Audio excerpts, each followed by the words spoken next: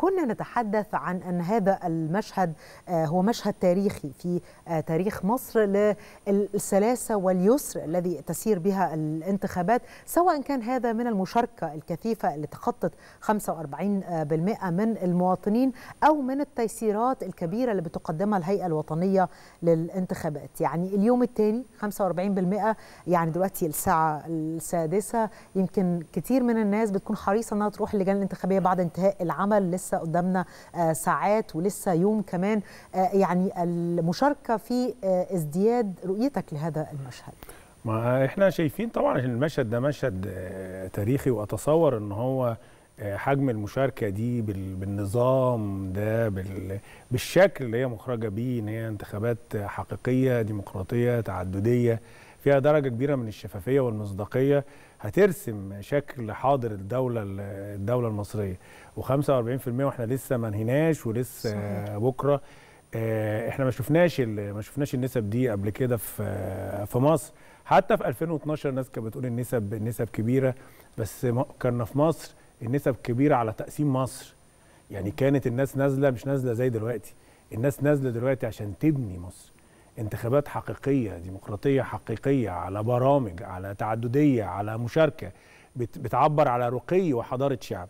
واللي إحنا شايفينه من من الهيئة الوطنية والنظام هو على الحقيقة بيعبر عن وضع حضاري صحيح. إحنا بيعبر ان إحنا بالنسبة لنا شكل شكل الطوابير اللي, اللي موجودة وشكل التسهيلات صحيح. شكل الشباب أمام أمام اللجان كثافة الشباب في المشاركة في عملية تسهيل الانتخابات للمواطنين. يعني منظر تحس كده إن هي دي مصر اللي إحنا عايزين نشوفها. بنطمح إليها. اللي بنطمح إليها. أنت عم بتشوفي بتشكلي مشهد في وعي وجدان المصريين إن إحنا بقى لنا 10 سنين تعبانين وبنبني بدأنا نجني الثمار الحقيقية.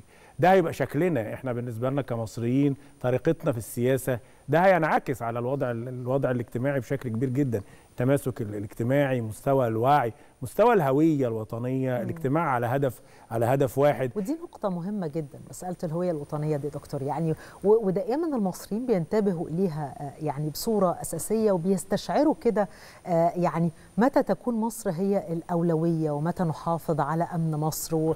وهذا الأمر بيكون له تأثير كبير جدا مش بس على مشاركتهم على الأداء العام في المجتمع المصري.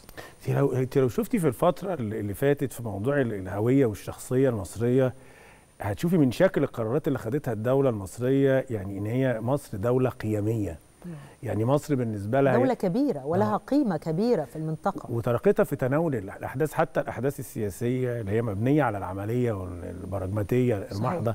مصر تلاقيها من كان حريصة جدا على إن هي بالنسبة لها على القانون الدولي على القانون الدولي الإنساني على ما يحدث في في غزة على ثوابت محددة بتنطلق منها الدولة المصرية. على وقوفها إلى جانب يعني الأشقاء في فلسطين بكل القوة وال يعني مادي ومعنوي وكل شيء.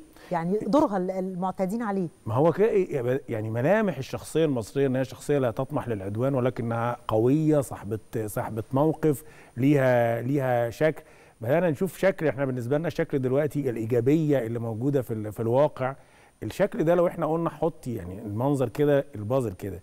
لو هي قيادة على حجم مصر وإحنا معانا هذه الإيجابية من من الشعب من الشعب المصري شكل التطور والرقي اللي إحنا الحضاري اللي إحنا شايفينه دلوقتي وبنمارسه في, في الانتخابات يقول إيه اللي جاي؟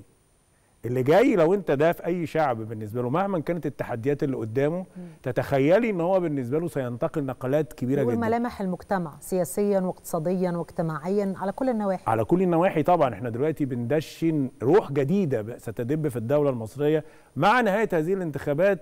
الثقة في في المخزون المصري الحضاري بتدب. الشخصية المصرية بتظهر وبتتضح.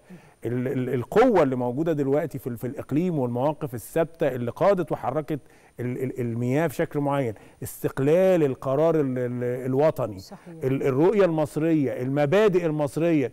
يعني انت بتوصفي مشهد على حقيقة هو هو مركب ولكن شديد القوة وشديد الثراء بيقول إن إحنا بالنسبة لنا على الرغم من الوضع اللي إحنا بالنسبة لنا اتحطينا فيه عمدا لأن هو بالنسبة له ظهر من الواقع إن إحنا بالنسبة لنا إن كان في تحاك على مصر مؤامرات من 2011 إلى الآن لا تنتهي.